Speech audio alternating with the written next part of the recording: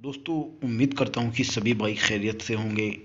और स्वागत है आप सभी का हमारे यूट्यूब चैनल हकीम अहमद में।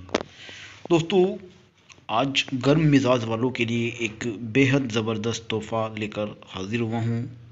क्योंकि अक्सर मेरे पास कमेंट आते रहते थे कि हकीम साहब, हमारा मिजाज गर्म है और शादी करीब है तो दोस्तों एक ऐसा ज़बरदस्त नुस्खा आप लोगों के लिए लेकर आया हूँ कि अगर आपकी शादी करीब है और आपका मिजाज गर्म है, गर्म मिजाज से मेरा ये मतलब है कि गर्म मिजाज वो होता है कि जब पेशाब में पीलापन आए तो समझ लीजिए कि आपका मिजाज गर्म है।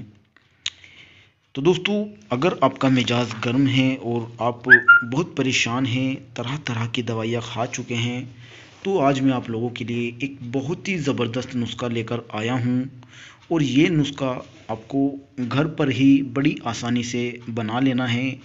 इसमें पाँच चीज़ें ऐड होती है, ये पाँच चीज़ें मैं आपको बता दूँगा। दोस्तों, ये नुस्खा ख़ास उन अफराद के लिए है जिनकी मनी में पतलापन आ गया है, या जिनका पेशाब जलन के साथ आता है, या जिन भाइयों की शादी करीब है तो वो इस नुस्खे को ज़रूर इस्तेमाल करें। दोस्तों, इतना ज़बरदस्त ये नुस्खा है कि अगर आप इसको इस्तेमाल करेंगे तो आप मुझे दुआ ज़रूर दोगे। इतना ज़बरदस्त ये नुस्खा है। तो चलिए दोस्तों, वीडियो को शुरू करते हैं। लेकिन उससे पहले आप सभी से मेरी एक रिक्वेस्ट है। अगर आपने अभी तक हमारे चैनल को सब्सक्राइब नहीं किया तो सबसे पहले आप हमारे चैनल को सब्सक्राइब कर ले। उसके बाद बेल आइकन का बटन दबाना ना भूलें। दोस्तों इस नुस्खे को बनाने के लिए आपने पाँच चीज़ें लेनी हैं। देखिए, आपने ये पाँचों चीज़ें नोट कर लेनी हैं। मैंने आप लोगों की सहूलियत के लिए लिख भी दिया है। देखिए, सबसे पहली चीज़ आपने लेनी है सालब मिश्री पचास ग्राम। दूसरी चीज़ आपने लेनी है सफ़ेद मूसली पचास ग्राम। तीसरी चीज़ आपने लेनी है शतावर पचास ग्राम। और चौथी चीज़ आपने लेनी है इसबगोल भूसी पचास ग्राम। और पाँचवीं चीज़ आपने लेनी है बिनोला। दोस्तों, ये पाँचों चीज़ें, सबसे पहली बात आपने याद रखना है कि असली चीज़ें होनी चाहिए।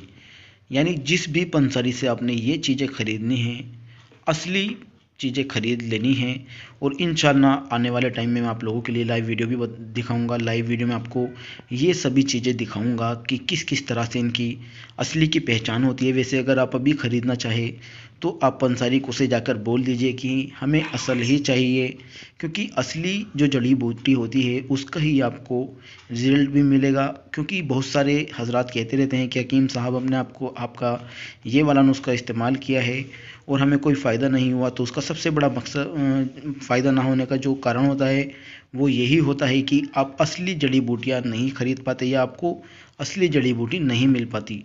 तो आपने असली जड़ी बूटी ही लेनी है। चाहे आप किसी हकीम की सहायता ले सकते हैं या किसी भी हकीम को ये नुस्खा दिखाकर इस्तेमाल कर सकते हैं, बहुत ही ज़बरदस्त ये नुस्खा है।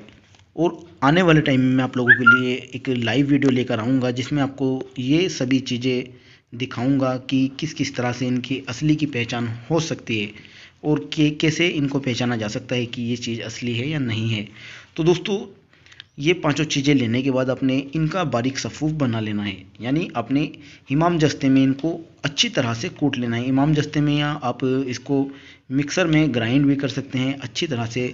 जब ये पाउडर बन जाए, उसके बाद आपने 10 ग्राम पाउडर 10 ग्राम यानी दो चम्मच पाउडर 10 ग्राम बैठेगा आपका।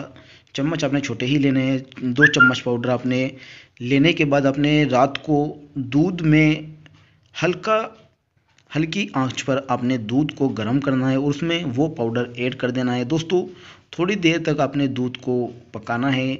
जब ये पक जाए अच्छी तरह से तो आपने इसको ठंडा होने के लिए रख देना है और सुबह होते ही आपने ये नुस्खा खा लेना है।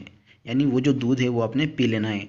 दोस्तों, अगर आपका पेशाब जलन के साथ आता है तो आप, या पेशाब आपका वाइट आता है तो आप इसको वाइट नहीं सॉरी आप, अगर आपका पेशाब पीला आता है तो आप इसको ज़रूर इस्तेमाल करें। और अगर आपका पेशाब वाइट आता है तो आप इस नुस्खे को बिल्कुल इस्तेमाल ना करें, क्योंकि अगर आपका पेशाब सफ़ेद आता है तो आपका मिजाज सर्द है, क्योंकि ये जो नुस्खा है सिर्फ़ गर्म मिजाज वालों के लिए है। और दोस्तों, अगर आपको प्रॉब्लम ज़्यादा है तो आप इसकी जो मकदार है मैंने आपको बताई है सुबह और शाम दोनों टाइम आपको लेना है। यानी सुबह बनाना है तो अपने शाम को इस्तेमाल करना है शाम को बनाना है तो अपने सुबह को इस्तेमाल करना है। दोस्तों बहुत ही ज़बरदस्त ये नुस्खा है। इस नुस्खे को इस्तेमाल करने के बाद आपको किसी भी चीज़ की ज़रूरत नहीं पड़ेगी। तो ये थी आज की हमारी वीडियो। उम्मीद करता हूँ कि आप, आपको समझ आई होगी। अगर आप आपको कोई भी क्वेश्चन पूछना है तो आप हमें कमेंट बॉक्स में पूछ सकते हैं। और मिलते हैं आपसे अगली नई वीडियो अगले नई टॉपिक के साथ। तब तक के लिए जय हिंद, जय भारत।